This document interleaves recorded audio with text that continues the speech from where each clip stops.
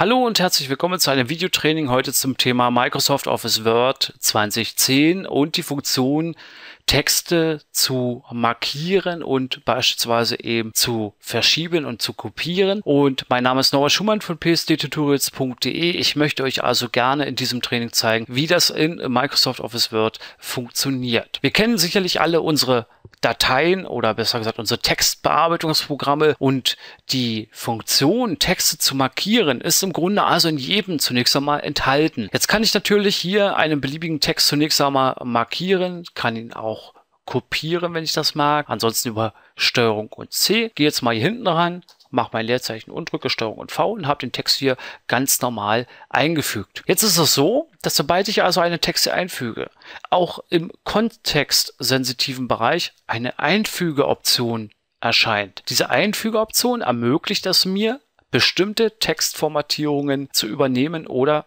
wegzulassen. Ich habe jetzt einfach im Grunde mal das Textliche hier kopiert. Es liegt ja noch in meiner Zwischenablage und da es hier in dem Feld natürlich im Moment gar keinen weiteren Sinn macht, da irgendetwas zu ändern, werde ich jetzt gerne mal in einem anderen Dokument reingehen, zum Beispiel dieses hier. Das hat eine komplett andere Schriftart zum Beispiel. Gehe jetzt mal hier rein und werde jetzt mal meinen Text hier einfügen über Steuerung und V. Und jetzt sehen wir hier, gibt es also zunächst einmal auch die eingefügte Variante des Textes kann jetzt hier auf die Optionen gehen und wir sehen auch, dass je nach Dokument zum Beispiel die Optionen recht unterschiedlich ausfallen können. Die Option ist jetzt einfach mal hier, dass ich das Zieldesign verwenden möchte. Zum Beispiel, ich kann die ursprüngliche Formatierung beibehalten. Ich kann auch die Formatierung zusammenfügen. Das sind also die Optionen. Und wenn ich mit der Maus hier drüber fahre, sieht man also auch schon die Textveränderung, die jetzt hier Einzug hält. Nur den Text übernehmen wird also auch nur der Text übernommen, ohne jegliche weitere Formatierung. Ansonsten wird natürlich die Formatierung hier zusammengefügt. Das bedeutet also im Grunde, dass der Text zwar eingefügt wird, aber eben auch gleichzeitig in dem Zielformat entsprechend mit ja formatiert wird und dann eben auch eingefügt wird in der Stelle, so wie wir es hier benötigen oder brauchen. Dasselbe funktioniert im Übrigen auch mit Tabellen zum Beispiel. Und wir haben verschiedene Optionen. Und diese Standard zum Einfügen festlegen kann ich jetzt hier zunächst einmal auch aktivieren.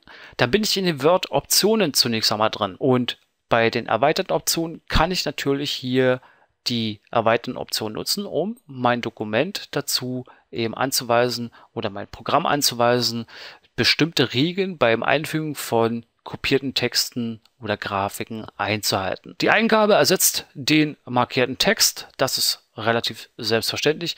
Drag and Drop für Text zulassen. Das werden wir jetzt auch gleich noch einmal anschauen in dieser Gruppe. Was jetzt hier zum Beispiel mit der automatisch ganze Wörter markieren Funktion gemeint ist, das können wir uns jetzt auch gleich ansehen. Das ist also auch etwas, was mitunter hinderlich ist beim Kopieren von Text, da eben zum Beispiel auch gern einmal diese Leerzeichen mit aufgenommen werden. Automatisch beim Einfügen von Autoformen einen neuen Zeichenbereich erstellen. Auch das ist eine Möglichkeit, kann man hier natürlich anklicken. Die Einfügen-Taste zum Steuern des Überschreibmodus verwenden und der Überschreibmodus kann jetzt hier auch aktiviert werden. Das bedeutet also, ich kann die Einfügetaste dazu verwenden, bestimmte Textzeilen einfach zu überschreiben, die in dem Moment einfach markiert wurden. Und ich habe ja natürlich Formatvorlagen auch für die Formate, die ich jetzt hier eintragen möchte. Ich kann natürlich auch Aufzählungen kopieren und einfügen. Die wichtige Funktion, die befindet sich im Grunde also in dem Feld, das ist also hier der Bereich Ausschneiden, Kopieren und Einfügen. Und möchte ich zum Beispiel innerhalb eines selben Dokuments ein Text kopieren und einfügen, kann ich hier zum Beispiel die ursprüngliche Formatierung beibehalten. Das ist also auch die Standardeinstellung. Ich kann im Grunde zwischen zwei Dokumenten Texte einfügen. Auch hier wird zunächst einmal die ursprüngliche Formatierung beibehalten. Also, das haben wir auch gerade gesehen. Der Text, den ich hier eingefügt habe, stammt aus einem anderen Dokument und der war natürlich auch vollkommen anders formatiert und ich habe ihn zunächst einmal kopiert und jetzt hier eingefügt und der Text schaut auch so aus wie aus dem Originaldokument, muss aber nicht in jedem Fall so gewünscht sein. Wenn ich also zum Beispiel ein Dokument das konsistent sein soll, erstellen möchte und füge jetzt Texte ein aus anderen Dokumenten, bin ich wahrscheinlich eher daran interessiert, die Formatierung zunächst einmal zusammenzufügen.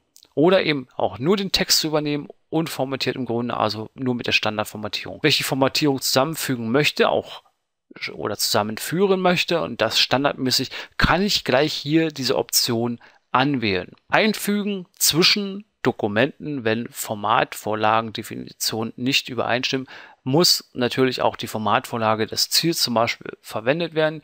Die ursprüngliche Formatierung kann beibehalten werden oder die Formatierung wird auch hier wiederum zusammengeführt. Es gibt verschiedene Einstellmöglichkeiten hier in diesen Optionen, die man natürlich auch wiederum ja, aktivieren, deaktivieren, voreinstellen kann. Das ändert also im Grunde auch das Verhalten, wie Texte letzten Endes eingefügt werden.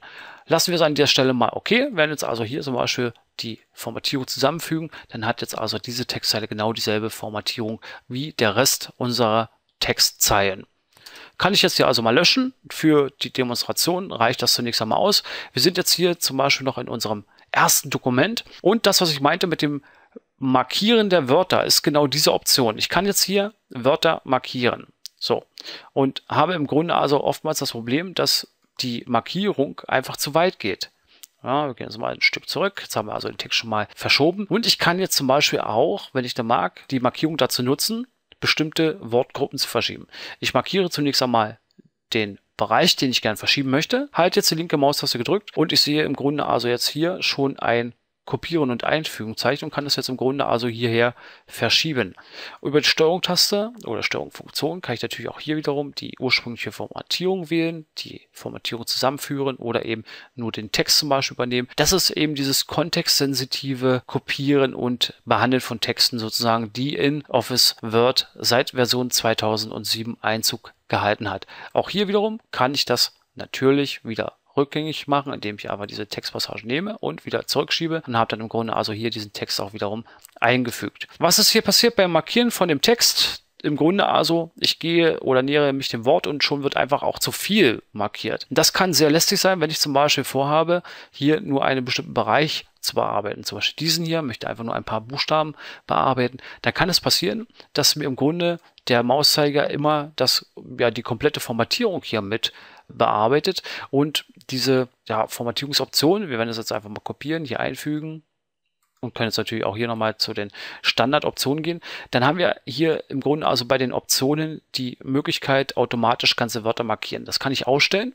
Das ist also, wie gesagt, ein Haken, der kann gesetzt werden, muss aber nicht gesetzt werden. Kommt darauf an, wie das Kopier- und Einfügeverhalten jedes Einzelnen letzten Endes ausfällt. Aber, wie gesagt, wenn ich jetzt diese Option gewählt habe, kann ich hier viel leichter betroffene Textstellen einfach wirklich so markieren, so wie ich es brauche. Wie gesagt, die automatische Option, die sorgt oftmals dafür, dass wirklich das gesamte Wort markiert wird und ich brauche teilweise einfach auch mehrere Anläufe, um den Textbereich auszuwählen, der für mich jetzt hier an dieser Stelle zunächst einmal relevant ist. Probieren wir jetzt an der Stelle einfach auch nochmal etwas anderes aus. Ich nehme jetzt mal mein Programmfenster, schiebe das mal jetzt hier so ein bisschen beiseite, habe hier hinten noch also mein anderes Dokument und möchte jetzt gerne das Wort beinhaltet mal verschieben über die Dokumentengrenzen hinweg und wie man sieht, funktioniert auch das wunderbar. Also auch eine Funktion, zum Beispiel parallel mit zwei Dokumentenfenstern zu arbeiten und Textpassagen per Drag and Drop zu verschieben in andere Dokumente. Wir können auch die Texte natürlich wiederum hier kontrollieren, per Kontextmenü. Das ist immer sensitiv, also intelligent sogar. Und Microsoft Office Word versucht uns im Grunde also auch wirklich immer nur die Funktionen anzubieten, die für unseren Text hier relevant sind. Texte hier ganz normal kann ich formatieren, kann das hier zum Beispiel fett schreiben, kursiv, unterstrichen, wenn ich den mag. Ich kann also die Ausrichtung ändern, Textfarbe unterstreichen, zum Beispiel auch den Hintergrund. Und ich kann zum Beispiel auch ein bestimmtes Format, das ich habe, übernehmen. Ich übernehme jetzt einfach mal das Format, übertragen. Ich werde das jetzt einfach übernehmen und zum Beispiel hier in diesem Moment übertragen, indem ich also den nächsten Text markiere und kann damit also Textformate, die ich einmal angelegt habe, komplett auf bestimmte Textzeilen übertragen, indem ich hier also wirklich, wie gesagt, diese Formatierungsmöglichkeit oder die Formatübertragen-Funktion zunächst einmal aktiviere. Das sind also auch diese typischen ja aus Microsoft Office Word heraus zugängliche Menübefehle und Kontextmenübefehle, die als Funktionsumfang natürlich die Bearbeitung von umfangreichen Texten deutlich erleichtern. Gerade auch wenn man natürlich viele Textpassagen kopiert und einfügen muss, hat man immer die direkte Kontrolle an der Textpassage, muss also auch nicht an der Stelle direkt über das Menü gehen, zwangsweise, sondern kann sich darauf verlassen, dass hier die meisten Optionen wirklich genannt sind. Über die zusätzlichen Aktionen, auch das ist eine Möglichkeit, kann ich natürlich über die Optionen auch noch weitere Autokorrekturoptionen mit hinzufügen. Ich kann zum Beispiel auch das Datum mit festlegen lassen. Ich kann Orte mit einfügen lassen, Personennamen, Telefonnummern und Uhrzeit, wenn ich das so mag. Okay, und kann das mit hinzufügen und habe dann also auch die Möglichkeit, hier die zusätzlichen Optionen mit aufzunehmen für die Autokorrektur. Und die Autokorrektur, die arbeitet ja autark. Das heißt, ich kann diese jetzt direkt hier aufrufen, kann also hier auch alternative Wörter mir aussuchen. Zum Beispiel Überblick kann ja auch markiert sein und mir ein alternatives Wort anzeigen lassen. Zum Beispiel über das Nachschlagen Synonyme kann ich natürlich auch hier als Synonym natürlich auch ein anderes Synonym auswählen. Das heißt also durchaus ein anderes Wort, ein alternatives und kann natürlich eben damit meine Texte letzten Endes individuell verwalten und das innerhalb meines sichtbaren Arbeitsfensters hier.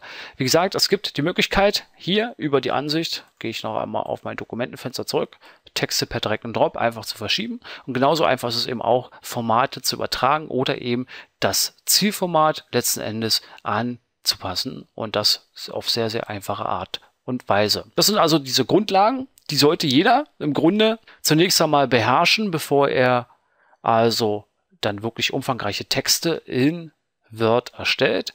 Es hilft immer, also zunächst einmal ein leeres Dokument anzulegen und einfach mal einen blinden Text drauf loszuschreiben, um diese Funktionen kennenzulernen.